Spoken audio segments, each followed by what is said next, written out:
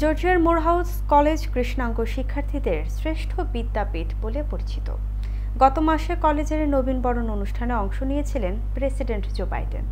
সে সময় কলেজ প্রাঙ্গণে বিক্ষুব্ধ শিক্ষার্থীরা অবিলম্বে ফিলিস্তিনে গণহত্যা বন্ধের দাবিতে স্লোগান দিতে শুরু করেন।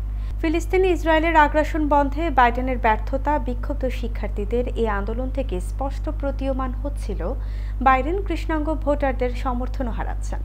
অতীতে কৃষ্ণাঙ্গ ভোটারদের মধ্যে বাইডেনের গ্রহণযোগ্যতা বেশি থাকলেও সম্প্রতি এক জরিপ অনুসারে মাত্র তেত্রিশ শতাংশ, আঠারো থেকে চল্লিশ বছর বয়স্ক কৃষ্ণাঙ্গ ভোটার বাইডেনকে ভোট দিতে আগ্রহী।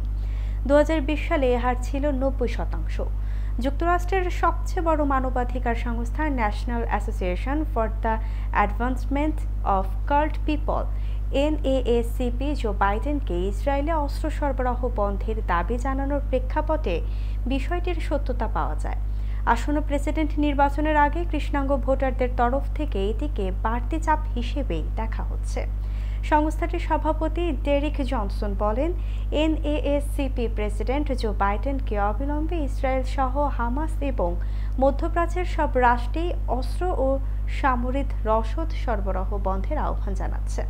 মধ্যপ্রাচ্যের সংঘাত, সহিংসতা বন্ধে অস্ত্র ও সামরিক সরবরাহ বন্ধের বিকল্প নেই বলেও জানিয়েছেন ডেরিক।